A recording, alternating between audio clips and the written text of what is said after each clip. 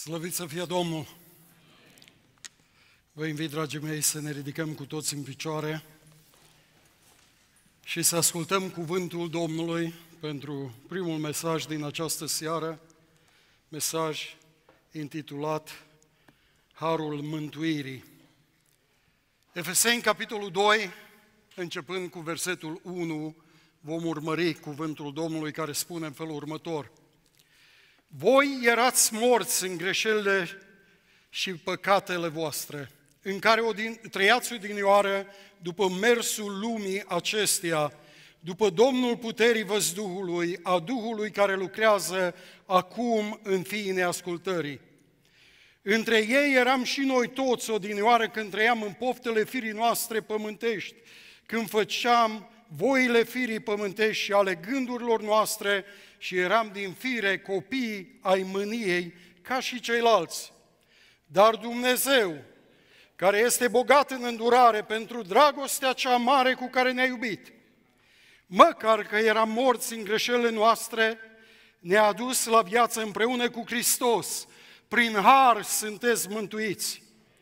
El ne-a înviat împreună și ne-a pus să ședem împreună în locurile cerești în Hristos Isus ca să arate în viacurile viitoare nemărginita bogăția Harului Său, în bunătatea Lui față de noi în Hristos Iisus. Căci prin har ați fost mântuiți prin credință și aceasta nu vine de la voi, ci este darul lui Dumnezeu. Nu prin fapte ca să nu se laude nimeni, căci noi suntem lucrarea Lui și am fost zidiți în Hristos Iisus pentru faptele bune, pe care le-a pregătit Dumnezeu mai dinainte ca să umblăm în ele. Amin. Tatăl nostru și Dumnezeul nostru mare și sfânt, cuvântul Tău a răsunat, l-am auzit. Fă, Doamne, ca de la mintea noastră să ajungă la inima noastră. Și fă, Doamne, ca fiecare persoană care va auzi cuvântul Tău declarat în această seară și pe parcursul acestei convenții, să fie atinși de Duhul Tău cel Sfânt. Mai este har, au declarat coriștii, și declarăm și noi împreună cu ei, bazați pe cuvântul Tău, Doamne. Ne încredem în Tine și pentru toate îți mulțumim. Amin. Vă invit, dragii mei, să ocupați locurile. Câți dintre dumneavoastră împreună cu mine ați descoperit că, într-adevăr, Houston este un oraș frumos, încălzit de căldura soarelui, nu-i așa? Slăvit să fie Domnul! Și este ca o grădină bine udată. Am văzut lucrul acesta venind spre sala convenției și ne bucurăm de lucrul acesta. Gloria lui Dumnezeu! Dați-mi voie un cuvânt de mulțumire în primul rând, și cred că toți sunteți în sentimentul meu, să aducem mulțumirea lui Dumnezeu pentru că ne-a ajutat să ne adunăm în locul acesta. Și apoi o mulțumire din toată inima Bisericii Grace. Fratelui păstor Vasile Ștreango, Domnul să-l binecuvinteze împreună cu toată echipa de organizare. Frate Serafim, vă mulțumim din toată inima pentru felul frumos în care ne primiți. Și Mulțumim lui Dumnezeu pentru dumneavoastră, pentru biserica aceasta. Ne rugăm Domnului ca în continuare Domnul să vă dea har și să ne dea har tuturor mai departe. Vă salutăm pe toți în numele Domnului Isus. Sunt aici împreună cu soția mea Rodica. Vă aducem salutări de la Portland, orașul Trandafirilor, Portland, Oregon, Biserica Philadelphia, este un har să fim aici împreună cu mulți frați și surori și tineri care au călătorit spre Houston cu această ocazie. Printre cei care au venit împreună cu noi se află și fratele păstor Nicky Pop, fratele păstor fondator al Bisericii Philadelphia din Portland. În luna aceasta am sărbătorit prin Harul lui Dumnezeu 40 de ani de la înființarea bisericii, primei biserici române penticostale din partea de nord-vest a Americii.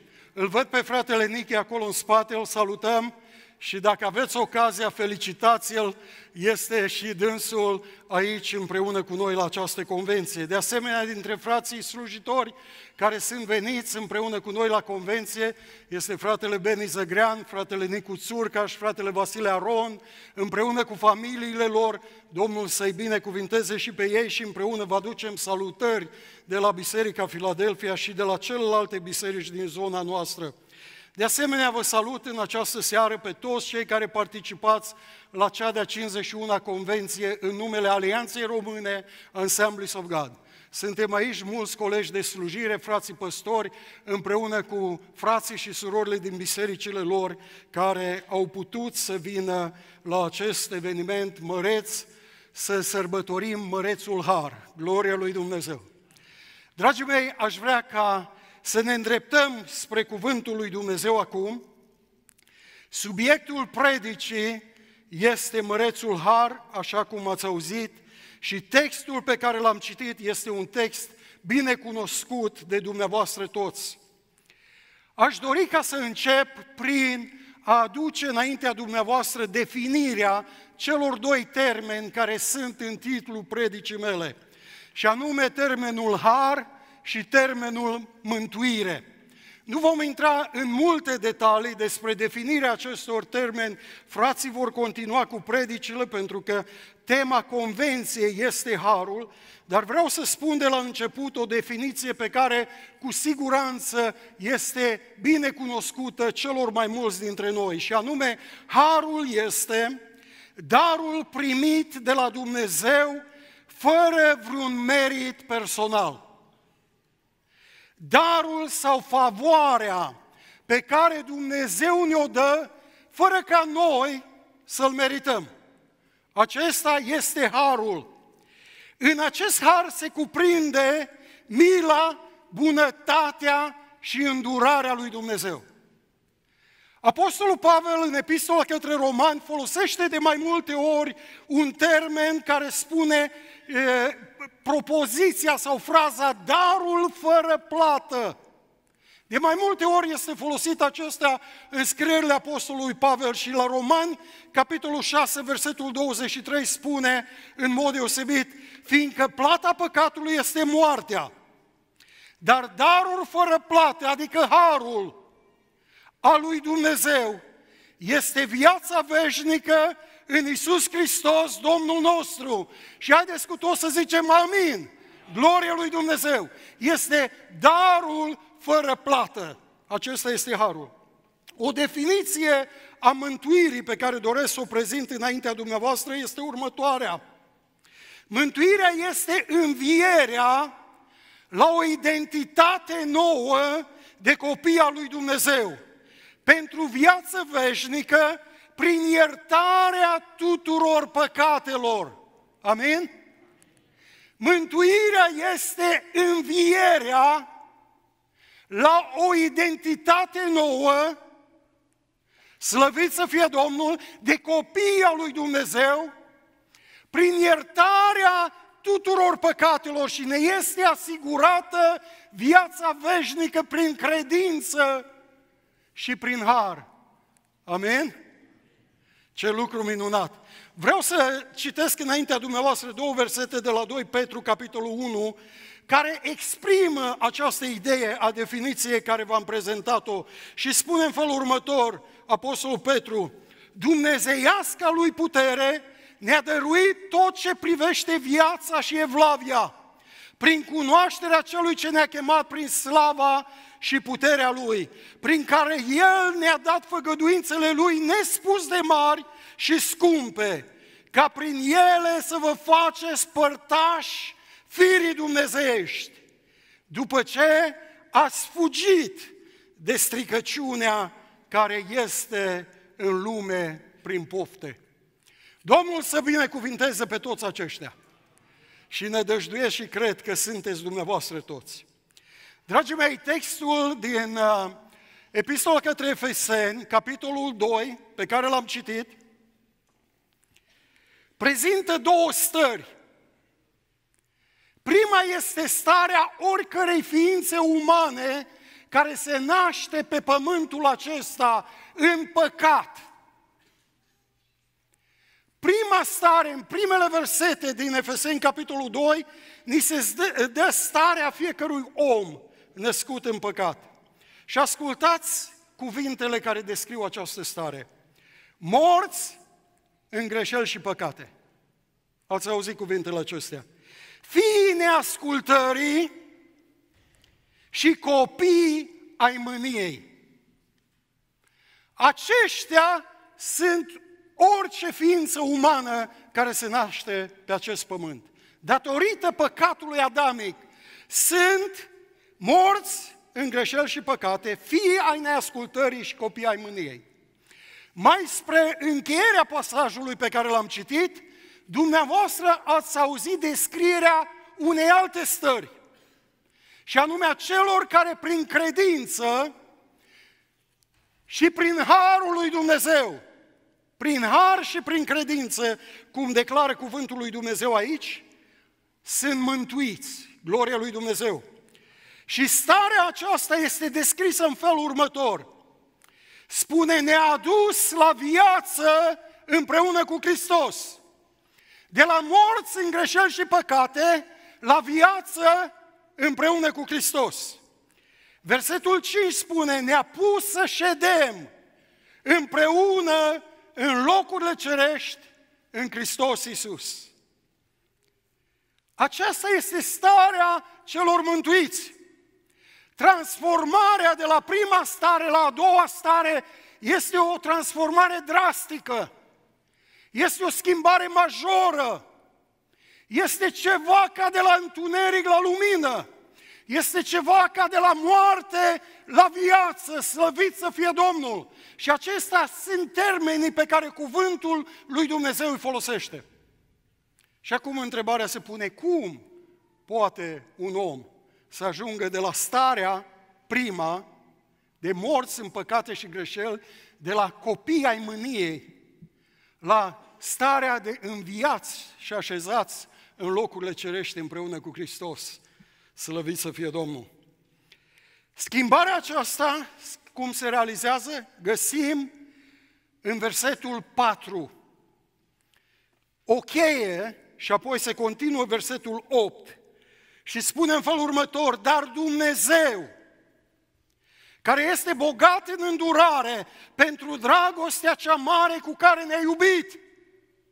Aici este cheia, aici este soluția cum poți să ajungi de la prima stare de mort în greșeli și păcate la starea de înviat în Hristos. Este numai și numai datorită lui Dumnezeu care este bogat în îndurare pentru dragostea cea mare cu care ne-a iubit. Amin? Sunteți de acord cu acest cuvânt? Versetul 8 continuă și spune că și prin har ați fost mântuiți prin credință. Și aceasta nu vine de la voi, ci este darul lui Dumnezeu. Nu prin fapte, versetul 9, ca să nu se laude nimeni.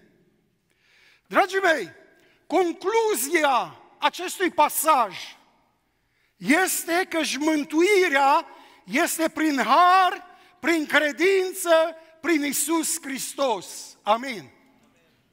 Mântuirea este prin har, prin credință, prin Domnul Isus Hristos. Gloria lui Dumnezeu. Cuvântul acesta este atât de clar și atât de categoric. Eu personal și cred că cei mai mulți dintre dumneavoastră credeți că și Dumnezeu, prin Duhul Sfânt, l-a însuflat pe acest apostol să nu scrie cuvintele lui, ci să scrie cuvântul lui Dumnezeu. Sunteți de acord că aici este cuvântul lui Dumnezeu? Dacă sunteți de acord, dacă noi știm că acest cuvânt este cuvântul lui Dumnezeu, totuși se pune întrebarea de ce este atât de greu de acceptat. De ce există atâta controversă la cuvântul lui Dumnezeu din pasajul acesta în mod special? Vreau să aduc înaintea dumneavoastră trei lucruri cât mai rapid posibil de ce lucrurile acestea se întâmplă. Noțiunea de har biblic, dragii mei, vine în conflict cu rațiunea umană. Harul este prea măreț pentru oameni să-l priceapă. Prea măreț. Poate că ați auzit întâmplarea cu acel copil care mergea cu părinții lui în fiecare duminică la adunare. Și totdeauna mămica îi dădea un bănuț să pună la colectă. La cina Domnului erau două colecte. Totdeauna una pentru biserică, una pentru cei săraci. Dar mama îi dădea numai un bănuț, el punea la prima colectă și uh, își vedea de treaba lui, stătea cu minte lângă mămica acolo. Odată, probabil că a avut un bănuț în plus mama și în duminica de cina Domnului a dat doi bănuți la copil. Și când a venit prima colectă, ca de obicei, a pus un bănuț acolo. Când a venit a doua colectă, a mai pus un bănuț.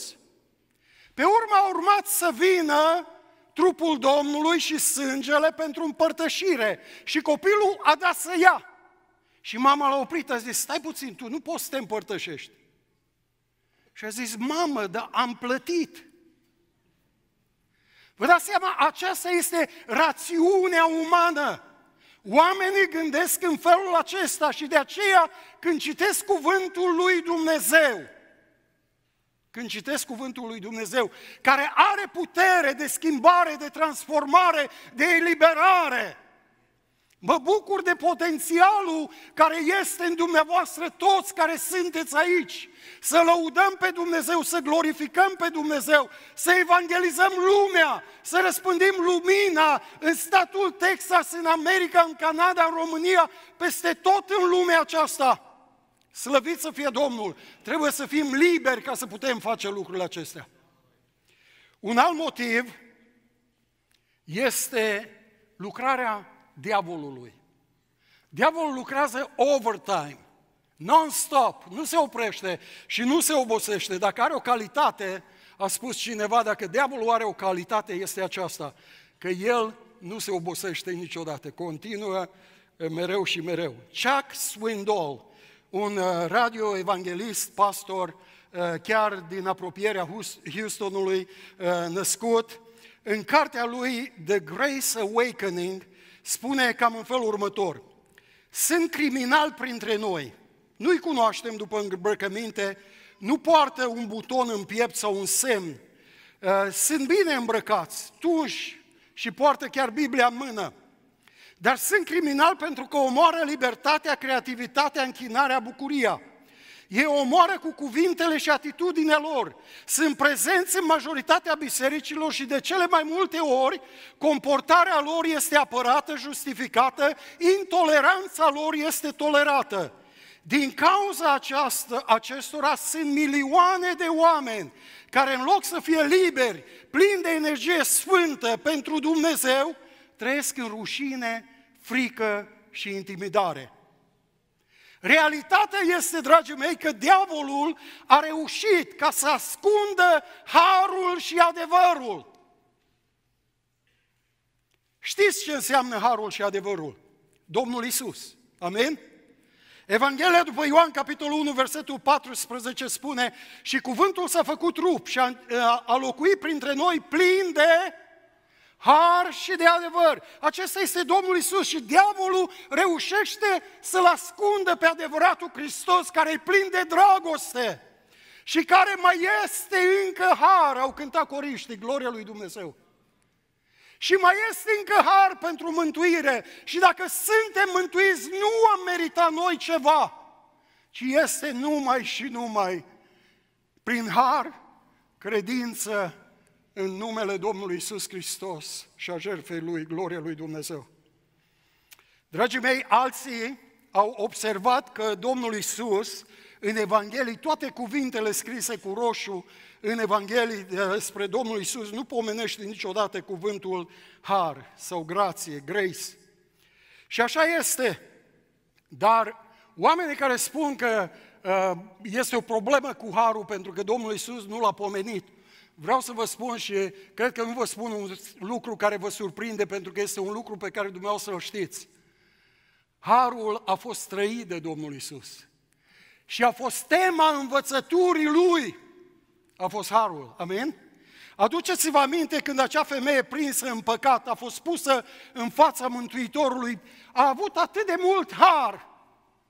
Putea să spună, da, așa zice legea, dar a găsit soluția și femeia aceea a rămas în viață. Și i-a iertat Domnul păcatele și i-a spus, du-te, dar să nu mai păcătuiești. Chiar de pe cruce, Domnul Iisus Hristos a declarat și a zis, Tată, iartă-i că nu știu ce fac. De fapt, harul nu este o noutate doar în Noul Testament, ci chiar de la începutul Bibliei, din Genesa. Cei mai mulți bărbați căsătoriți își amintesc că în capitolul 2, versetul 18, Dumnezeu a spus un lucru. Nu este bine ca omul să fie singur. Amin? Și după aceea se vede harul că a spus am să-i fac un ajutor potrivit pentru el. Slăvit să fie Domnul!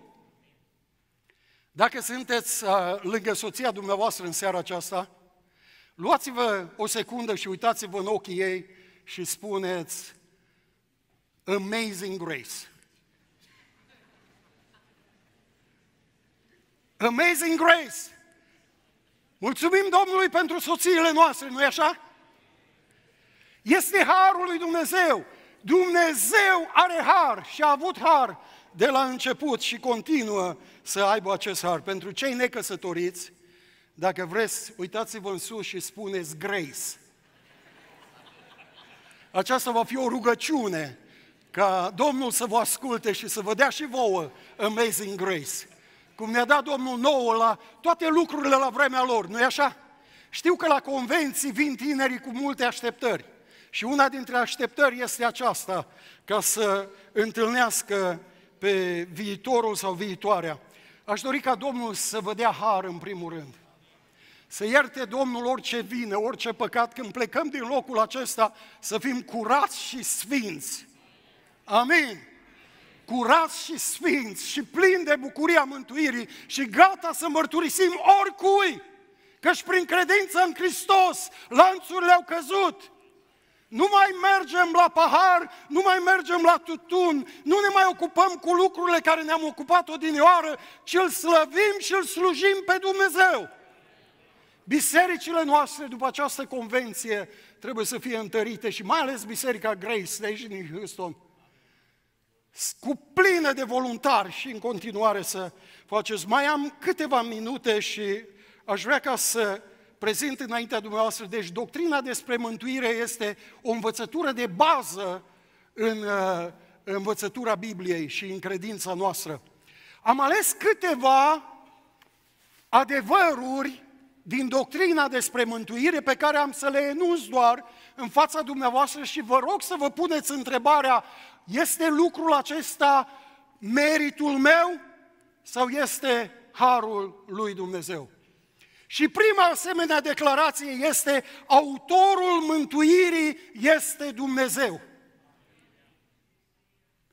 E, am făcut eu ceva sau dumneavoastră careva ați meritat lucrul acesta? Domnul este autorul mântuirii. Versetul 4 l-ați auzit din textul nostru când l-am citit, dar Dumnezeu în dragostea Lui mare cu care ne-a iubit și noi eram ca ei altă dată. Dar Dumnezeu în dragostea Lui ne-a iubit. Romani, capitolul 5, versetul 8 spune, dar Dumnezeu și arată dragostea. Totul pornește cu Dumnezeu. Mântuirea este harul lui Dumnezeu. Dar Dumnezeu și arată dragostea față de noi prin faptul că pe când eram noi încă păcătoși, Hristos a murit pentru noi. Haideți să zicem mărețul har. Mărețul har. A doua declarație din doctrina mântuirii este prețul mântuirii a fost plătit prin vărsarea sângelui și moartea Domnului Isus Hristos. Aceasta este o declarație biblică, dragii mei, și dacă e o declarație biblică, vreau să spun că este har măreț lucrul acesta. Nimeni de aici n-a meritat. Nimeni n-a meritat. Și niciodată n-am putea noi să facem ceva ca să ne asumăm acest merit. La 2 Corinteni, capitolul 5, versetul 21 spune, pe cei ce i-a cunoscut, pe cel ce n-a cunoscut niciun păcat, El a făcut păcat pentru noi, ca noi să fim neprihănirea Lui. Doamne, îți mulțumim. 1 Petru, capitolul 1, versetul 18, că știți că nu cu lucruri peritoare, cu argint sau aur, ați fost răscumpărați din felul de șer de viețuire pe care îl moșteniseră de la părinții voștri, ci cu sângele scump al lui Hristos, mielul fără cusur și fără prihană. Haideți să mai zicem o dată, mărețul har! Aleluia! Slăvit să fie Domnul! Următoarea declarație din această doctrină spune în felul următor.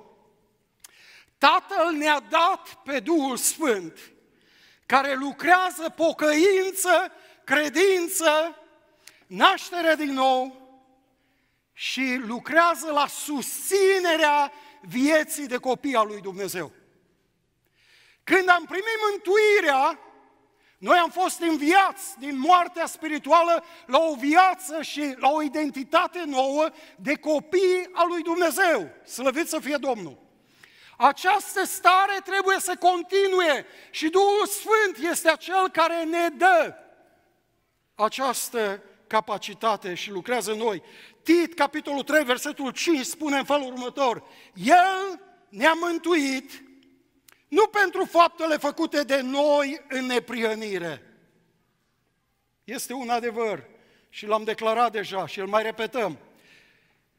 Ci pentru îndurarea Lui, prin spălarea nașterii din nou și prin, ascultați, înnoirea făcută de Duhul Sfânt.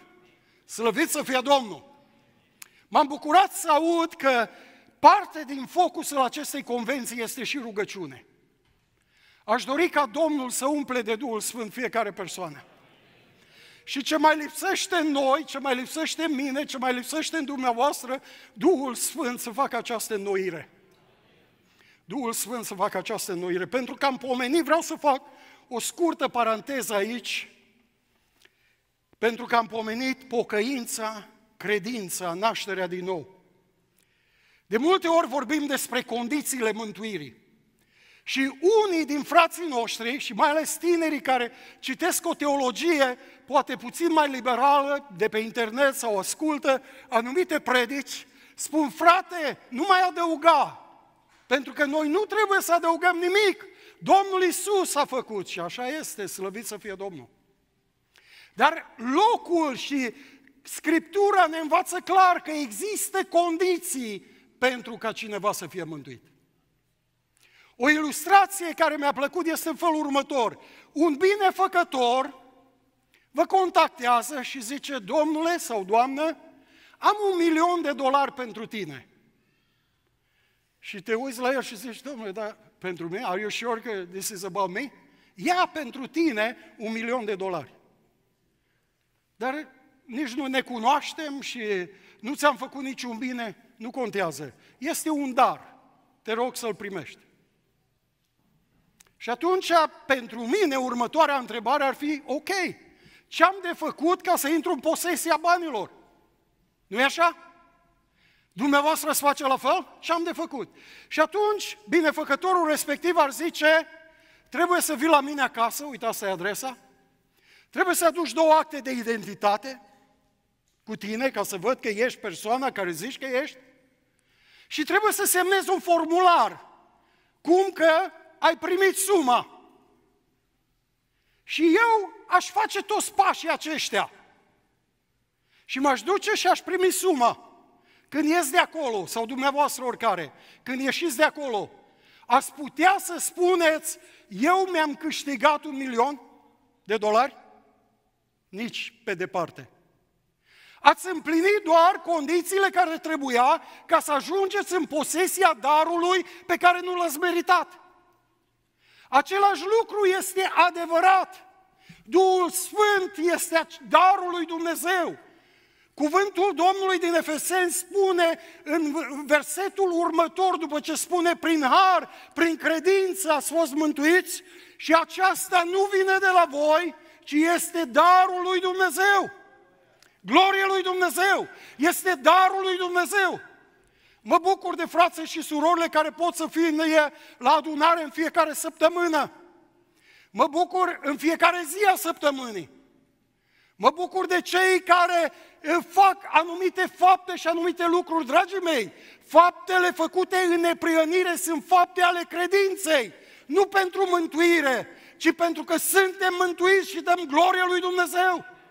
Și suntem chemați, așa cum am citit în versetul 10, să împlinim voia Tatălui nostru. Tatăl nostru nu mai este cel care a fost odinioară, ci Tatăl nostru este Dumnezeu prin Isus Hristos care ne-a mântuit și ne-a înviat la o viață nouă, gloria lui Dumnezeu. Frați și surori, declarația pe care am spus-o din doctrina mântuirii, Tatăl ne-a dat pe Duhul Sfânt, care lucrează în noi pocăință, credință, naștere din nou. Este și acesta un har sau l-a meritat careva dintre noi? Putem zice mărețul har? Gloria lui Dumnezeu! Mărețul har! Ar mai fi câteva, dar am să încerc să mă opresc. Uh, mântuirea, următorul, este darul lui Dumnezeu pentru orice păcătos. Un adevăr biblic care face parte din doctrina mântuirii. Darul lui Dumnezeu pentru orice păcătos. Ioan, capitolul 1, versetul 29, spune, a doua zi, Ioan a văzut pe Iisus venind la el și a zis, iată mielul lui Dumnezeu care ridică păcatul lumii. Pentru lumea întreagă este la dispoziție Iisus Hristos și jertfa Lui, glorie Lui Dumnezeu și Harul Lui Dumnezeu. E, bineînțeles, cunoașteți pe de rost versetul 16 din Ioan 3, fiindcă atât de mult a iubit Dumnezeu lumea, că a dat pe singurul Lui Fiu, pentru ca oricine crede în El să nu piară, ci să aibă viață veșnică. Glorie ție, Doamne! Ce lucru minunat! Mărețul har, frați și surori! Acesta e mărețul har, acesta e harul în mântuire.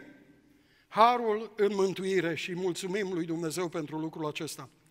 Acum, dragii mei, vreau să mă apropii de încheiere spunându-vă că în fiecare situație, când suntem puși în fața unei întrebări sau unui subiect care trebuie analizat, oamenii de obicei se împart în mai multe grupe. Sunt persoane da persoane nu și sunt persoane nu știu și poate mai sunt și altfel de persoane, nu mă interesează sau știu eu ce.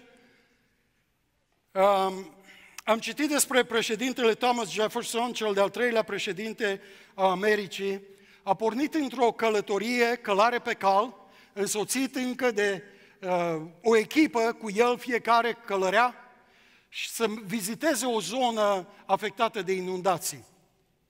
Și a ajuns la un moment dat la un loc unde drumul era rupt, podul fusese dus de apa mare, râul era foarte învolburat. S-a oprit acolo pe malul acelui râu unde trebuia să fie podul și nu mai era și s-au uitat, au făcut analiza puțin și a zis putem trece călare pe cai. Și unul câte unul au intrat în apă și au trecut și au ajuns pe malul celălalt. A venit și timpul președintelui să intre când să dea să intre în apă, un cetățean care era pe malul râului a zis, domnule, nu mă treci și pe mine uh, apa. La care președintele a zis, sigur, urcă-te sus. S-a urcat în spatele lui și au trecut fără mari dificultăți, au ajuns pe malul celălalt.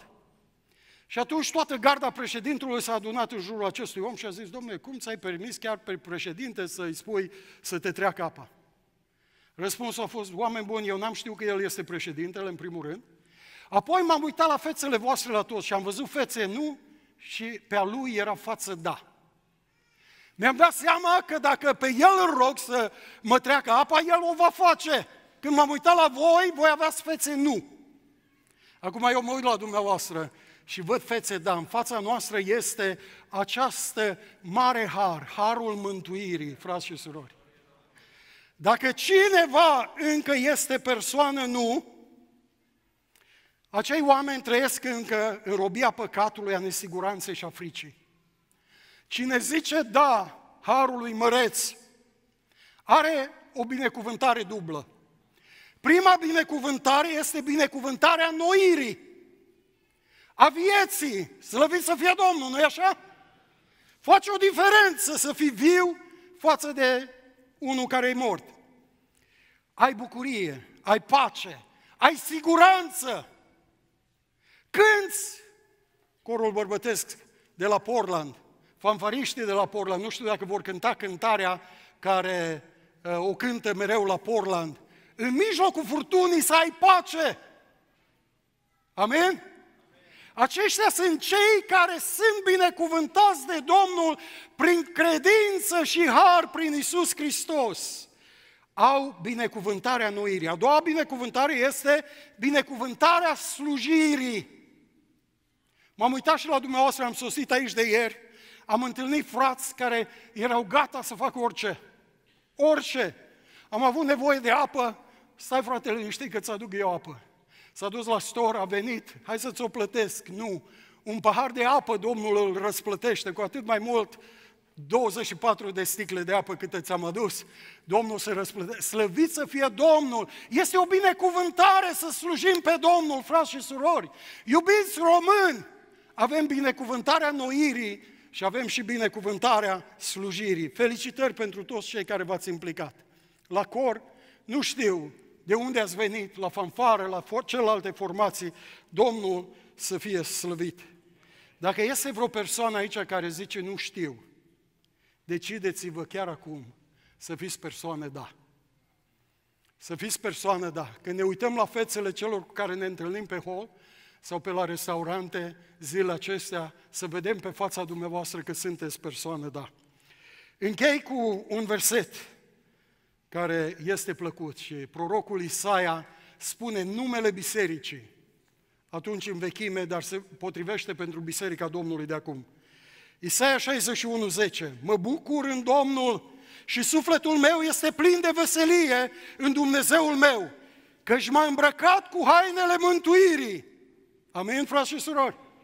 M-a acoperit cu mantaua izbăvirii, ca pe un mire împodobit cu o cunună împărătească și ca o mireasă împodobită cu sculele ei.